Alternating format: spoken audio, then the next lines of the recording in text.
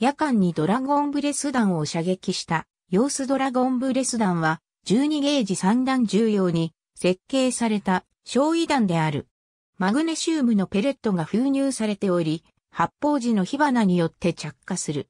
この際の燃焼範囲は、重厚からおよそ100フィート程度とされる。通常は12ゲージ2.3、4インチのショットシェルとして装填される。インプシリンダーなどの絞りがついた重心からでも安全に発射できる。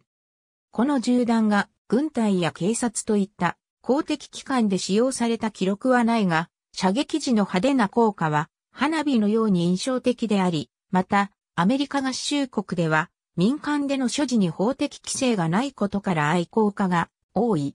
一部では遭難信号としても使用されることがあるとされる。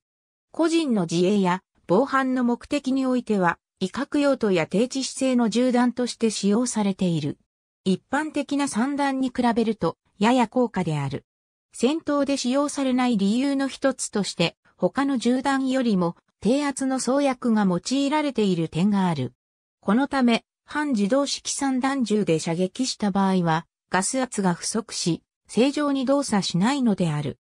ドラゴンブレス弾は火災を引き起こす危険性があるため、多くの国で所持が制限、禁止されており、所持が認められている国や地域においても、危険物として手数料が課されていることもある。